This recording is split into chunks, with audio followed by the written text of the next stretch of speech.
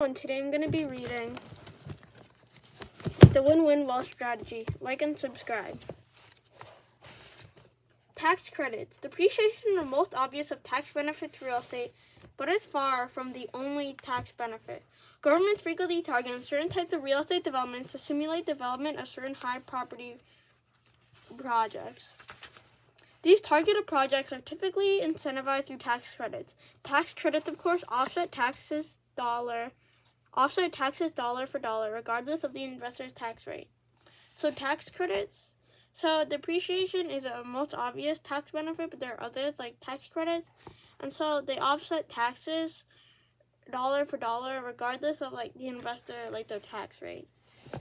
So as now, so Copious Soup is a book written by me about a guy named Bob and how he found a delicious soup to eat.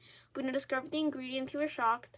And Copper Lost in Time is a book written by me about a dog named Copper and how it got lost in the future and has to get back to the present. An Alien Stole My Homework 1 and 2 are books written by my brother Jaden, and they follow a kid named Ned and how he stopped aliens from stealing his homework in elementary school and in college. And as a kid, this is a book written by me and my brother, and it's about how kids can help in their parents' business. And these books are on Amazon, so you can buy them there. Okay, I hope you liked this video, and if you did, please like and subscribe. Bye!